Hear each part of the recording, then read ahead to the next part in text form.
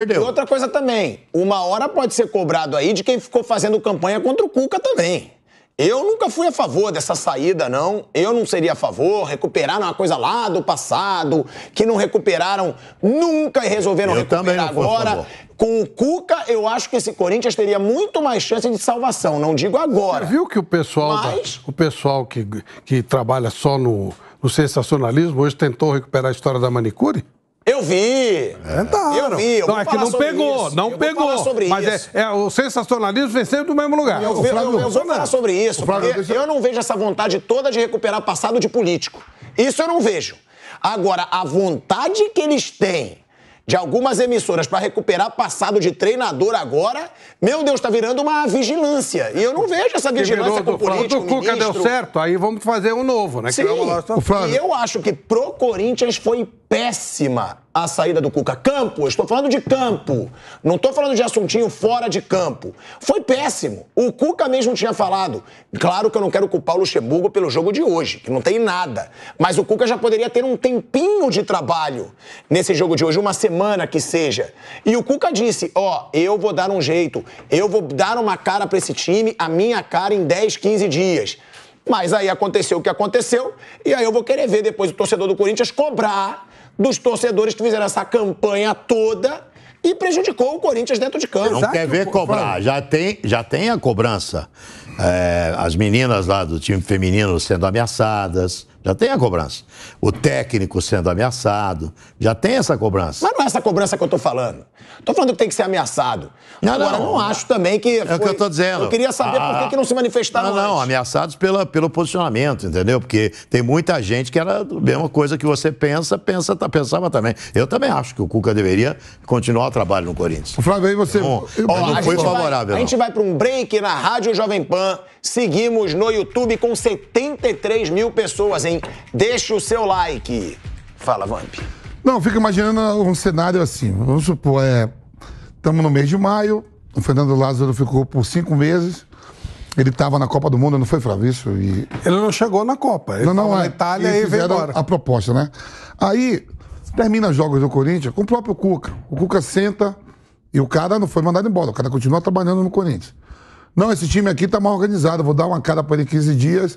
Tá todo mundo muito longe. O cara que estava trabalhando, dirigindo esse time há cinco meses. Aí, se você pegar o Vanderlei do Luxemburgo hoje, de repente vai na coletiva e falar: ó, tá tudo muito sem pegada, sem esquema tático, tudo muito longe. E o cara trabalha no clube, tá lá. Tá lá sendo auxiliar do lado. É a mesma coisa aqui, ó. É, é, eu deixei essa mesa bonita, eu, eu compliquei essa mesa. Chegou outro cara pra consertar essa mesa, eu continuo na mesa. Ó, essa mesa aqui não tá legal, tá torta. E eu participando dela. Imagina como fica o Fernando Lázaro é, emocionalmente. Terrível. Você tá entendendo o que eu tô falando? É falta de respeito, falta de tudo. Tá É? entendendo o que eu tô falando? Porque o, o, o treinador do Cuca falou na coletiva. Agora, uma Outro coisa- jogo contra o Goiás. Vamos lá. O Cuca, tá? O Cuca vai fazer falta para esse Corinthians dentro de campo.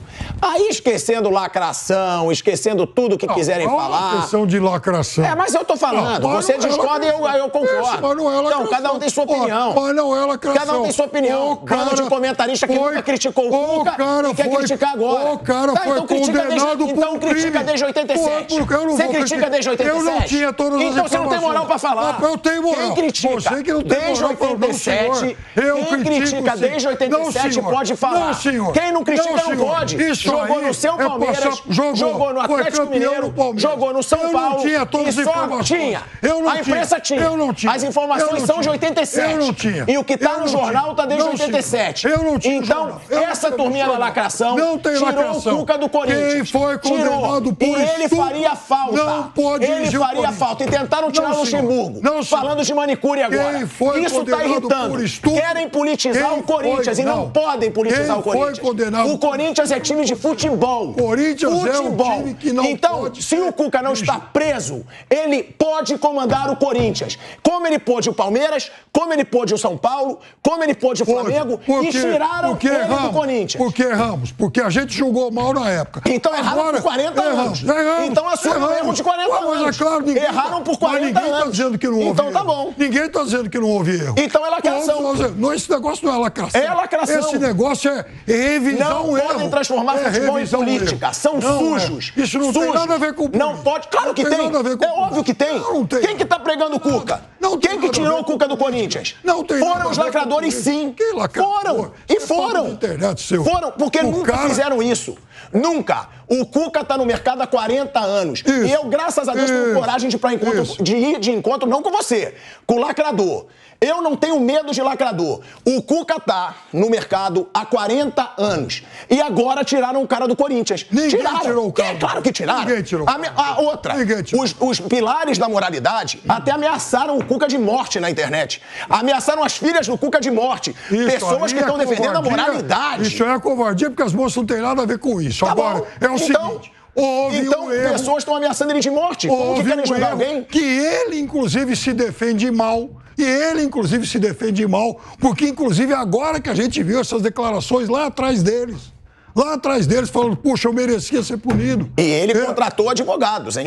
Isso! Criminais. E escuta, se ele chegar, se, se ele contratou um advogado criminal, se o advogado criminal amanhã depois chegar, chegar e falar assim: olha, houve um erro processual, mentira, e o Cuca é inocente, nós todos que hoje fazemos essa condenação temos o dever de falar: puxa vida, erramos e temos que pedir desculpa. Só que isso não aconteceu ainda. Uai, Como não? Então também não aconteceu. O Cuca tá preso? Ele não tá preso. ele foi condenado. Mas ele não tá preso. Ele foi condenado. Ele, foi, condenado, ele diz que por falta de defesa. Isso que a gente tem que apurar. Então vamos ver se ele agora, com uma defesa criminal, que ele contratou advogados que dizem que são os melhores advogados criminais. Vamos ver. Se ele não provar, Isso, ok. porque até então ele Cuca. tinha sido O que eu me condenado, questiono. ele tinha sido o que eu me condenado e questiono tava aqui no é, Brasil. Quem faz espetáculo, quem fez todo esse escarcel em cima do Cuca, tem fotinho com o Cuca na Rússia. Tem fotinho com o Cuca comentando o jogo na emissora na Rússia. Não tinha então, essa hipocrisia eu não vou. Claro que tinha uma informação. tinha todas Aí a hipocrisia. Essa hipocrisia eu Não. não aceito. De você tirar fotinho abraçado. Teve até gente que atacou o Cuca depois que tinha comentário nas redes sociais. Nossa, que pureza que é o Cuca. Trouxe sanduíche pro pessoal da técnica. Que pessoa maravilhosa. Então, não seja hipócrita. Então, Isso é um erro, não é questão de o come- hipocrisia. É hipocrisia. Não é hipocrisia. Se você não pilhado. questionou nunca, você vai o questionar cara agora. admite. O cara hoje que fez aquilo, hoje ele admite que errou. Fala, puxa vida, eu avaliei mal, tem mais informações hoje. Mas aí é mole, então, né? Agora, Quando a sua empresa contrata, você não fala nada. Quando um clube contrata, você ataca, aí é mole. Aí qualquer um Mas faz. Isso que aí todo qualquer um mundo faz. contratou esse tempo todo, só que Então, hoje e nunca ninguém falou nada. mais, há mais informações disponíveis do que havia dois, Ou três, podem surgir informações também a favor dele, a gente não sabe. Pá, a tu- o que, que a gente tem hoje? Você tem acredita? Você acredita como uma pessoa? Eu tô só levantando agora Ah. um questionamento. Ele, o processo dele foi arquivado. Ele não teria Foi por quê. arquivado? Não, foi condenado. Arquiva- Foi encerrado. ele foi condenado. Foi encerrado. Ele foi condenado. Você acha que uma E pessoa foi prescrito que sabe que depois tem, prescreveu. Você acha que uma É. pessoa que sabe que tem culpa contrataria advogados pra cavar isso de novo? Pra ele já tá finalizado. Tipo, preso ele não vai ser. Ele tá com advogados criminais de novo. Ou seja, ele pode acreditar na inocência dele. Pode. Ele pode. Se ele contratou todo- advogados criminais o recuperar direito, esse processo. Ele tem todo o direito de fazer isso. Eu só acho ele tá que o pessoal da lacração, como eu chamei, pode ter prejudicado muito o Corinthians dentro de campo. Eu acho. Eu acho que o Cuca faria um belíssimo trabalho no Corinthians, Corinthians- Melhor do que qualquer outro. O Corinthians, diferente de todos os outros clubes, eu falei isso no dia que ele acabou sendo contratado. Quer dizer, o Corinthians, pela identificação com essa questão das mulheres no futebol, de respeito às minhas e tal, se existe um clube que não poderia associar sua imagem ao Cuca, era o Corinthians. É diferente, Pilhado, dele trabalhar no Palmeiras, no Flamengo, no Atlético, por mais censurável que possa ser, e é toda essa história, é óbvio que a repercussão do Corinthians seria diferente. O Corinthians cruzou uma linha que ele, Corinthians, não tinha o direito. Por causa do respeito às minas. Eu acho das- que todos os clubes hoje têm um time de futebol feminino. Mas não é só Não isso. é o Corinthians apenas que tem que ter o respeito às Isso é minas. algo que está muito identificado com a imagem do Corinthians. Não está identificado com a imagem do Flamengo, do Palmeiras, do São Paulo. Mas é o que eu digo, do. Corinthians, vírgula. Porque o que eu vejo de torcedor do Corinthians que tá puto com a saída do Cuca é do Corinthians, vírgula. É de uma parte do Corinthians. E me desculpa, o que eu vou falar agora vai repercutir. O time de futebol masculino foi o que fez a história do Corinthians por enquanto. Quem fez a história do Corinthians por enquanto foi o time de futebol masculino. E eu acho sim, e eu acho que eu tenho o direito de achar, que hoje o time de futebol masculino do Corinthians tem muito mais peso que o time de futebol feminino. Aí vão falar machista. Não, não é machista. Quem construiu a história do Corinthians por enquanto? O time de futebol masculino. O que eu acho, Corinthians é uma as meninas têm é todo o direito se só. pronunciar. É uma instituição É uma só. instituição só. Agora, não são as meninas também que representam o ponto de vista do torcedor corintiano. Não são. As meninas não são as porta-vozes do corintiano. O corintiano são. A, a gente fala de 35 milhões, 30 milhões de torcedores, que não podem ser também só representados por um time de futebol Fernando, feminino. então, É a torcida, é um vamos lá. gigante, é o Então, Corinthians. então vamos lá. Então vamos deixar de lado a consideração moral, ética que a gente possa fazer sobre isso. Então, vamos agora pensar no, no, no outro lado. Você acha que, diante de tudo isso, um patrocinador se sentiria confortável? Eu acho. Você acha que um patrocinador se sentiria confortável em associar a imagem dele a alguém Eu condenado acho e até respeitaria um patrocinador que tivesse personalidade para ir de encontro a isso. Porque o patrocinador ele patrocina o Corinthians. Ele patrocina um time que construiu uma história sensacional. E um time que tem que disputar dentro de campo. Eu acho que o patrocinador, ele perde o tesão de, de patrocinar um time quando ele perde a sua competitividade. E com o Cuca, eu acho que o Corinthians teria competitividade. Concordo com você. Acho que teria uma baita campanha para que saíssem patrocinadores. Mas aí eu admiraria o patrocinador que tivesse coragem Ó. e que continuasse. Mas eu que- concordo que alguns você acha que é fácil, então, você acha que é fácil convencer um patrocinador a ficar? E a gente tem visto uma série de campanhas aí de gente pressionando patrocinadores. E não estou nem falando só no futebol, não, em outras esferas. E agora, voltando ao futebol, por exemplo, foram os patrocinadores, por exemplo, que pressionaram o Santos a não fechar o contrato com o Robinho dois anos atrás. Então, existe também, é óbvio que o Corinthians fez essa conta, esse cálculo também. E é por isso também que eu acho que isso aumenta o tamanho do erro que o Corinthians cometeu. Vamp, essa situação do Cuca, não vou te levar pra política, que eu sei que você não gosta de comentar. A gente bate de frente aqui, cada um fala a sua opinião. Agora, o Cuca pode fazer falta? Você acha que o Cuca seria o melhor treinador pro Corinthians dentro de não, campo? Não só pro Corinthians. O Cuca, se não fosse os problemas particulares aí, que tá esse debate todo, o, o Cuca, fora o Palmeiras e, e o Flamengo, até o Flamengo, né? Que agora contratou o São Paulo. Tirando o Palmeiras, que já tem um, um treinador que tá um, um trabalho a longo prazo aí, de três anos, o Cuca seria bom treinador para qualquer time no país. Qualquer time do país. Ó, o pessoal tava questionando muito o Luxemburgo. Ah, o Luxemburgo tá ó, ultrapassado, parado há dois anos, não sei o quê. Eu quero saber quais os treinadores da ativa que tá ganhando título lá, Rodo. Fora o Abel. E o Dorival, que agora completou de. Começou a ganhar agora com o. É, os últimos foram Abel, Dorival e o Cuca no Eu quero Atlético saber o resto, o resto que tá aí trabalhando no país que ganha título assim a rodo. Então é o seguinte: ninguém. Então o Cuca. Pode culpar o Luxemburgo, chegou agora e o time perdeu com o Danilo, perdeu com o Lázaro, perdeu com o Cuca, perdeu com ele. Não, é, tô falando assim. Não, mas pera, mas eu tô falando assim. A partir do momento que Não, mas você. tem razão. É, eu tô falando assim, ó. Qual a diferença de você botar um treinador? Ah, o Luxemburgo não ganha nada há anos. Mas ganhou tudo. Eu quero saber o resto se ganhou. Ah, a idade, ele é mais velho. Mas tá tendo oportunidade um monte aí, ó. A gente viu a felicidade do Fernando Diniz, porque ganhou, ganhou o campeonato estadual.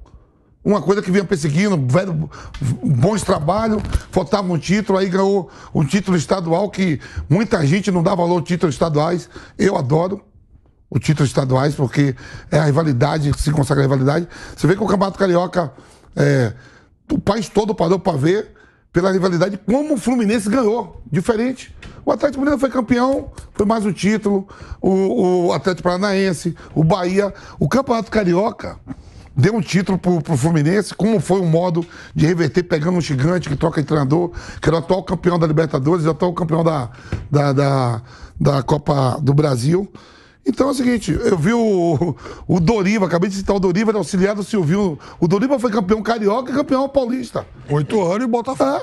E era Vasco. auxiliar, e era auxiliar do Silvinho, que o Silvinho não tinha ganho o título ainda que o Doriva tinha ganho. Não estou falando como atleta, jogador. Como jogador, o Silvinho teve uma carreira. Agora, hoje foi uma pena. Hoje Mundo, foi né? uma pena você não estar aqui, porque eu citei o Djalminha, eu citei o Fábio Luciano, o Luiz Fabiano, que falaram. Vanderlei, ele o Djalminha... ali, ele ouviu a gente falando. Sim, não, não, não, mas eu falei no bate-pronto Ah, tá, também. tá, perfeito. que o Djalminha falou, é o melhor treinador que eu já tive. E quando a gente falou isso hoje no bate-pronto, realmente, o Mauro César trouxe a opinião que ele acha que já foi, mas que o Vanderlei não se modernizou. Aí eu te pergunto, o Vanderlei, você diz que foi o melhor que você já teve. Não diz como treinador? Ó, ó, dessas gerações aí, dessas gerações aqui, dos últimos 30 anos, só tem dois treinadores no país que trabalhou com os melhores jogadores do Brasil: Filipão e Luxemburgo. Os demais não trabalharam. Os demais não dirigiram, ó. Não teve a oportunidade de dirigir o Rivaldo, Miller, Djalminha, Luizão, Edilson, Edmundo, Evaí. É, é, é, é, eu tô obrigado, Lívia, Vampeta, é, é, é, Júnior Baiano. Sabe que dirigiu só esses caras tudo aí que teve na mão Roberto Carlos, Cafu, Vanderlei e Luiz Filipão, pô.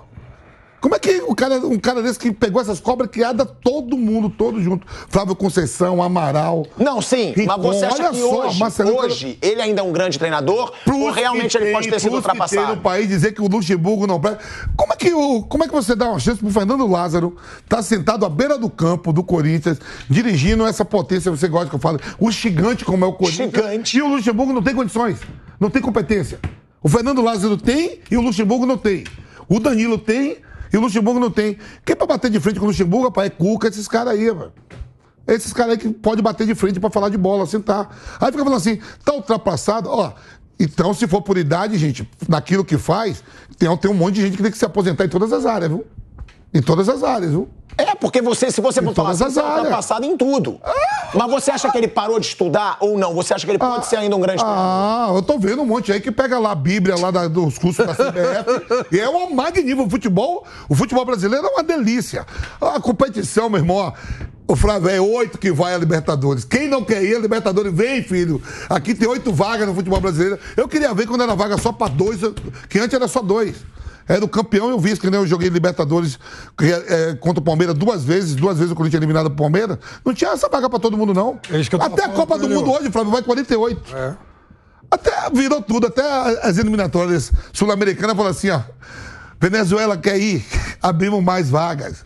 Não, e se cai, ainda vai para o falo assim, Não é? É o impressionante. Luxemburgo, o Luxemburgo, que é onde vai, é cotado para ser campeão, por tudo que ele tem. Às vezes não tem bons trabalhos. Os últimos trabalhos do Luxemburgo é não deixar o Cruzeiro ir para a Série C.